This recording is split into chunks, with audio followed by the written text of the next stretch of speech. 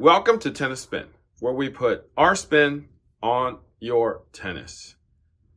Today, we'll be talking about marketing, tennis marketing. How did each of the companies market to you? Stay tuned.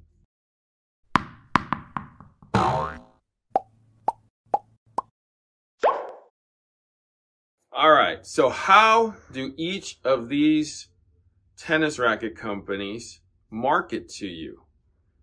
Well, it's not hard since the history of rackets, even in the wooden times of rackets, in the 70s and the 60s, from the onset of television, right? They would put a racket into the best person's hands, right? We all know Jack Kramer and the Jack Kramer Pro Staff, right? We know um, Andre Agassi and the Radical from Head. Before that, it was the Donnay for him, right? We got Michael Chang and the Graphite 2 from Prince, right?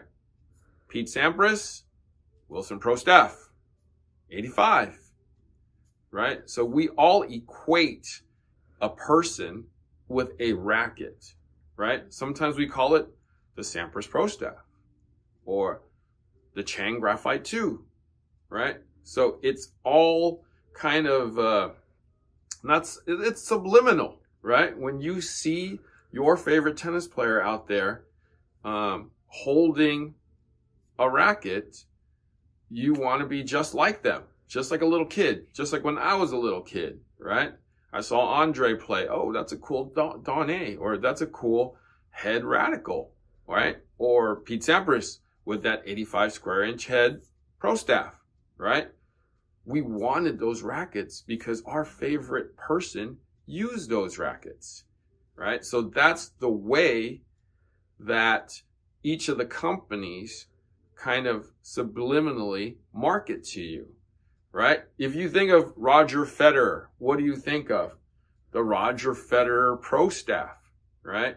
When this racket first came out in the 97 form in that black and red, man, I was selling these like hotcakes. This is the number one selling racket, right? But people who weren't or shouldn't have bought these rackets were buying them because Fed was their favorite player, right? I had little kids buying these up to, you know, like older people who shouldn't be using them.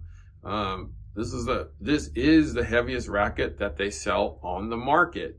But people bought it because Roger, right? People everybody loves Roger. Everybody wants to play with Roger's racket. Everybody wants to play like Roger and maybe, you know, if you bought Roger's racket, you could play like Roger too, right? So Wilson and Roger, pro staff, synonymous with each other, right? It's kind of the same thing with uh, Rafa. You can't think of Rafa without um, Arrow, Aero Pro, Pure Aero, this banana, right? So you think, you know it's an arrow, some kind of arrow, whether it was an Aero Pro from before or the current Aero banana now, um, Rafa and Aero, synonymous, right? Rafa sold a ton of rackets because his face is on this racket, right? He hits with a racket that looks like this, right? So you want to hit like Rafa. You want to hit with a ton of spin, right? You want to be like Rafa. All the little kids love Rafa. So marketing gets you into this, right? Get you this racket. Now, of course, the third of the big three, Novak, right? Novak put the speed on the map, right? When Novak went from a Wilson blade 98, right, into this speed, they created this speed for Novak.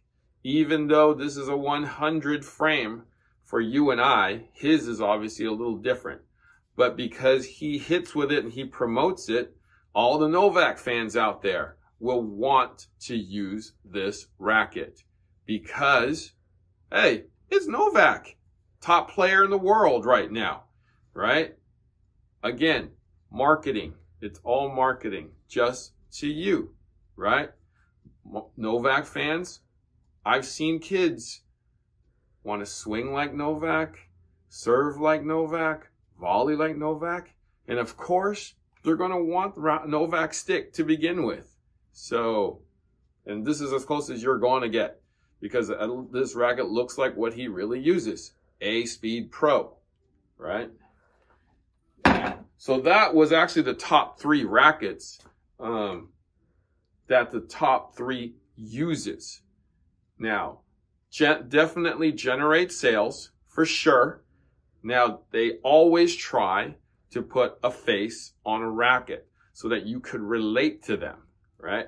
We all know Kevin Anderson is going to be on a CX200 Tour 1820 with that leather grip, right? Kevin ain't doing that well right now, but hey, when he's on top, he's swinging his racket around, putting in some uh, television time, right? This racket gets some attention.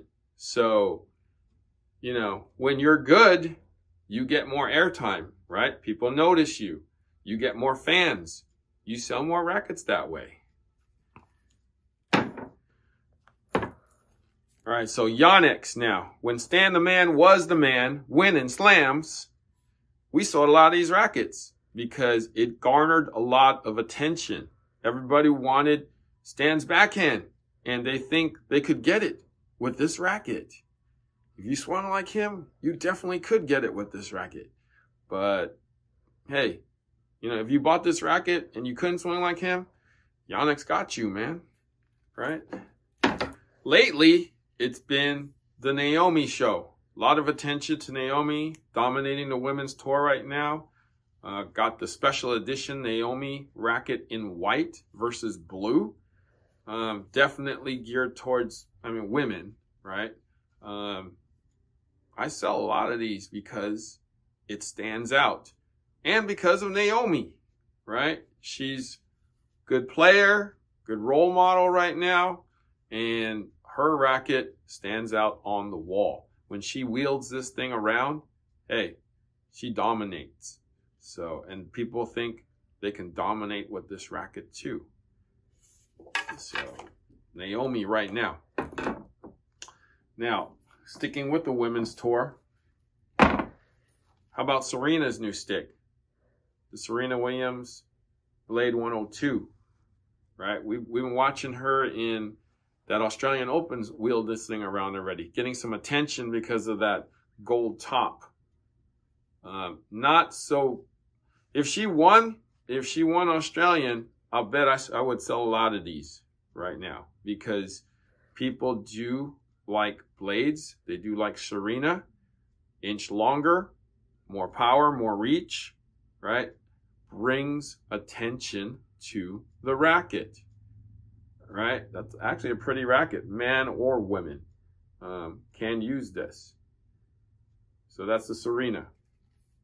The only racket that's doesn't really have a major face to it is the Pure Drive, but they're basically going on past popularity and past performance. Right? We got Anna Samova here with Fabio. Um, you know, kind of both mediocre players, um, but this particular racket uh, doesn't have a major face. Um, ever since Roddick left Tour um, and left this racket, they were kind of searching for a person that dominates uh, to put the face of this racket to. But um, I mean, they got these two right now.